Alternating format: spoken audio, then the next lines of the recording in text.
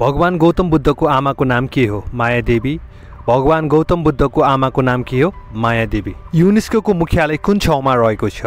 Paris France. UNESCO मुख्यालय कुन ठाउँमा रहेको छ? फ्रान्सको पेरिस। भेजिटार कुन ठाउँमा पर्दछ? धनकुचा भेजिटार कुन ठाउँमा पर्दछ धनकुचा। पहिलो गणना यन्त्रको नाम के हो? अवैकस पहिलो गणना यन्त्रको नाम के हो? अवैकस जनकपुर नगरी कुन जिल्लामा पर्दछ? धनुष्या। जनकपुर नगरी कुन जिल्लामा पर्दछ? धनुष्या। ब्रिक्स ब्याङ्कको मुख्यालय कुन देशमा रहेको छ? साङ्घाई चीन। ब्रिक्स ब्याङ्कको मुख्यालय कुन देशमा रहेको छ? चीनको साङ्घाईमा। नेपालको इतिहासमा प्रथम महिला सचिव को हुन्। चन्द्रकला किरण नेपालको इतिहासमा प्रथम महिला सचिव को हुन् चन्द्रकला किरण। महाभारत कृतिका लेखक को हुन् बसन्त बस्नेत। महाभारत कृतिका लेखक को हुन् बसन्त बस्नेत। इतिहासका पिता भनेर कसलाई भनिन्छ? हेरोडोटस। इतिहासका पिता भनेर कसलाई भनिन्छ? हेरोडोटस। अपी हिमाल कुन जिल्लामा पर्दछ? दार्चुला। अपी हिमाल कुन जिल्लामा पर्दछ? दार्चुला। अमेरिकाको खोज कसले गरेका थिए? Christopher Columbus. अमेरिकाको खोज कसले गरेका थिए? Christopher Columbus. कु गाउँ कुन ठाउँमा पर्दछ? डोल्पा। कु गाउँ कुन ठाउँमा पर्दछ? डोल्पा। श्री अन्तु कुन ठाउँमा पर्दछ? इलाम। श्री अन्तु कुन ठाउँमा पर्दछ? इलाम। रुरु कुन ठाउँमा पर्दछ? गुल्मी। रुरु कुन ठाउँमा पर्दछ? गुल्मी। अमेरिकाको संसदलाई के भनिन्छ? कङ्ग्रेस। अमेरिकाको संसदलाई के भनिन्छ? कङ्ग्रेस। नेटोको हेडक्वार्टर्स कुन ठाउँमा रहेको छ? बेल्जियमको ब्रसेल्समा। नेटोको हेडक्वार्टर्स कुन ठाउँमा रहेको छ? ब्रसेल्स जुन बेल्जियममा पर्दछ।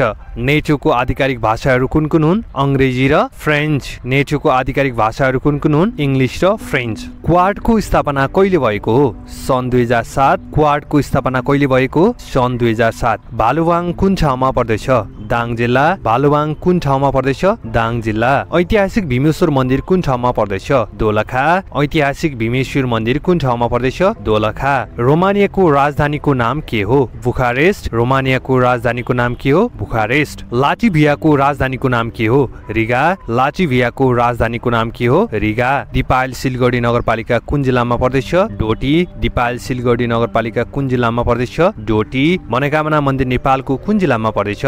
गोरेखा। मनोकामना मन्दिर नेपालको कुन जिल्लामा पर्दछ? गोरेखा। विज्ञानका पिता भनेर कसलाई भनिन्छ? ग्यालिलियो। ग्यालिली। विज्ञानका पिता भनेर कसलाई भनिन्छ? ग्यालिलियो। ग्यालिली। खारफुनाथ मन्दिर कुन जिल्लामा पर्दछ? हुम्ला। खारफुनाथ मन्दिर कुन जिल्लामा पर्दछ? हुम्ला। क्युबाको राजधानीको नाम के हो? हवाना। क्युबाको राजधानीको नाम के हो? हवाना। मोरोक्कोको राजधानीको नाम के हो? रबात मोरोक्कोको राजधानीको नाम के हो? रबात पृथ्वीको आन्तरिक संरचनालाई कति भागमा बाँडिएको छ? तीन भाग पृथ्वीको आन्तरिक संरचनालाई कति भागमा बाँडिएको छ? तीन भाग बेर पोखरी कुन ठाउँमा पर्दछ? जाजरकोट बेर पोखरी कुन ठाउँमा पर्दछ?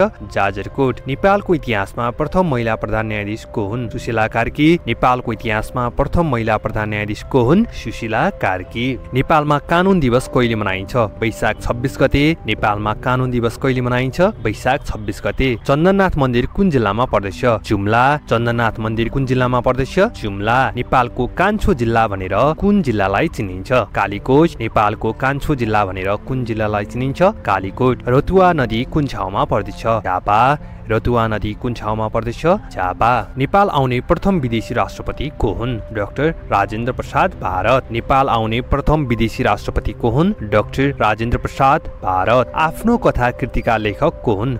विश्वेश्वर प्रसाद कोइराला। आफ्नो कथा कृतिका लेखक को हुन्? विश्वेश्वर प्रसाद कोइराला। नेपालमा जनआन्दोलन दिवस कहिले मनाइन्छ? चैत्र छब्बिस गते। नेपालमा जनआन्दोलन दिवस कहिले मनाइन्छ? चैत्र छब्बिस गते। पहिलो विश्वयुद्ध कति वर्षसम्म चलेको थियो? चार वर्ष पहिलो विश्वयुद्ध कति वर्षसम्म चलेको थियो? चार वर्ष।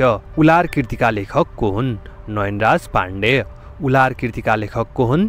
नयनराज पाण्ड्य प्रथम मेकानिकल क्यालकुलेटरका निर्माण कसले गरेका थिए? पास्कल। प्रथम मेकानिकल क्यालकुलेटरका निर्माण कसले गरेका थिए? पास्कल। नेपालमा शहीद दिवस कहिले मनाइन्छ?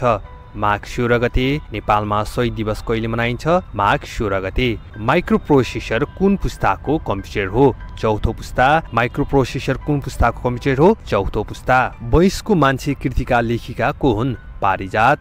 वयस्को मान्छे कृतिका लेखिका को हुन्? पारिजात। आज रमिता छ कृतिका लेखक को हुन्? इन्द्रबहादुर राई।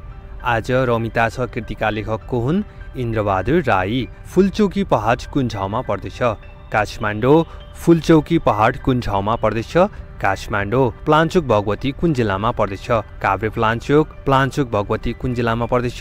काभ्रे प्लान्चोक साप्सु खोला कुन ठाउँमा पर्दछ? खोचाङ साप्सु खोला कुन ठाउँमा पर्दछ? खोचाङ